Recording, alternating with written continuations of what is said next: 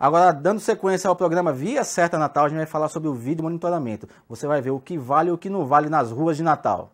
As 36 câmeras de vídeo monitoramento da STTU passaram a funcionar oficialmente no domingo, dia 10 de setembro. E a partir daí, muitos questionamentos, pessoas foram favoráveis, outras contrárias a esta fiscalização. E para tentar entender e até orientar os motoristas, eu estou aqui ao lado do diretor de fiscalização da STTU, Rogério Leite, que vai nos explicar. Rogério, primeiro, quais são os locais onde essas câmeras foram instaladas? É, são é, alguns, é, algumas dos 36 pontos são nas mais variadas vias de nossa cidade, né? Nas principais vias é, estamos com essas câmeras instaladas. São câmeras do tipo DOME, né? Então o agente ele consegue é, visualizar a infração, ele para a imagem, dá um zoom na imagem, pega a placa da imagem do, do veículo, vê, constata se o, se o infrator está se estiver dentro do veículo, se está usando o cinto de segurança, se está utilizando o aparelho celular. E quando não, se o veículo está estacionado num passeio ou numa vaga proibida, então, da mesma forma, o agente constata e verifica a placa do veículo e de imediato faz a notificação.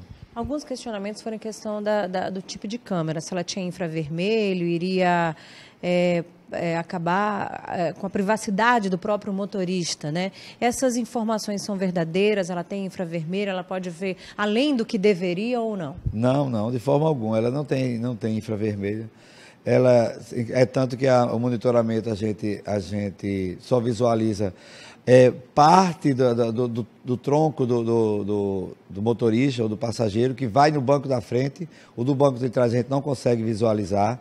Então, é, pela própria estrutura de posicionamento que a câmera é colocada é, e a estrutura do veículo, impede que a gente visse até mais, não pode. Só, você só consegue ver do pescoço para baixo um pouco, que aí a gente constata se está usando cinto de segurança, se está manuseando um aparelho celular, se tem alguma coisa de anormal na, naquele condutor. Agora, desde o domingo, quando elas passaram a funcionar oficialmente, até agora, a, a, as multas, o número de multas aumentou consideravelmente. Como é que vocês podem fazer uma apuração é, até em questão em relação ao trânsito? Não, pelo contrário, até que ficou é, é, de forma positiva, porque a gente tem notado que as infrações têm diminuído, que as pessoas estão vendo e sabendo que estão sendo monitoradas, então estão, estão cumprindo o que o CTB determina, tanto que a quantidade de notificações que nós estávamos fazendo no primeiro dia, segundo e terceiro, tem, tem, está caindo e tende a cair mais. E esse é o objetivo da, da, da STTU e da Prefeitura, é trazer um trânsito mais seguro para a nossa cidade, e com isso uma qualidade de vida para toda a população, tanto pedestre como motorista. Com isso, a economia do sistema SUS, que não vai gastar com despesas hospitalares, é, o, a, a, Previdência Social também não vai ter gastos tendo que pagar aposentadorias de pessoas que se tornam inválidas em decorrência de acidentes de trânsito. Então, o objetivo, na verdade, é esse, não é multar o objetivo é, é, organizar o trânsito da cidade. E as principais notificações nesses dias que já começaram a funcionar foram em relação a quê? É, passeio, né, veículo estacionado em passeio, é, utilizando, é, não utilizando o cinto de segurança e utilizando aparelho de celular. Agora, quando a pessoa está parada no sinal de trânsito, ela pode pegar o celular ou não? De forma alguma. Ela está, ela está no momento que ela está no trânsito, ela está ou parada ou, ou em movimento, a condição é o mesmo, a exigência é a mesma.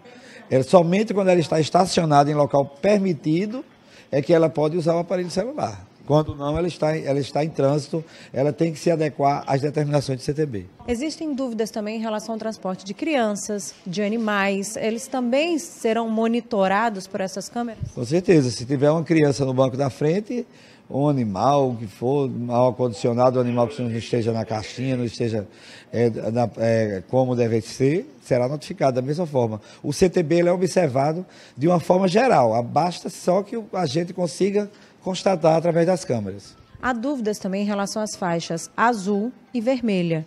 Né, onde o motorista pode avançar, se o preferencial é o vermelho, se o preferencial é o azul. É, essas dúvidas em relação às faixas azul e vermelha, qual é a orientação da STTU?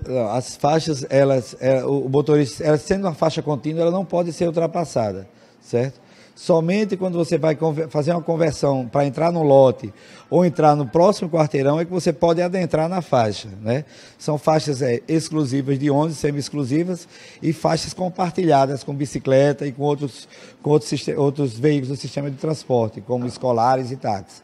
Mas os outros veículos eles só podem adentrar a faixa quando ele for fazer a operação de conversão no lote ou a conversão no próximo cruzamento à direita. Ele não pode passar de um cruzamento para outro, então ele é, ele é, é, é passivo de ser, de ser notificado. Essas câmeras de vídeo monitoramento, elas funcionam durante todo o dia? Existe um horário que o motorista pode relaxar um pouco, depois das 22 horas, por exemplo, ou não? Elas são 24 horas ligadas? Não, relaxar, relaxar, é, a pessoa tem que estar sempre atento, né? Agora, a partir das 22 horas, a gente não faz a notificação de corte de sinal, de avanço de sinal.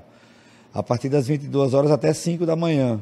Mas o motorista, ele deve, se ele for necessário o corte de sinal, que ele faça com prudência. A gente não, não, não, não faz a notificação, mas é, a responsabilidade daquele que está transpondo o sinal, o cruzamento, é ter atenção.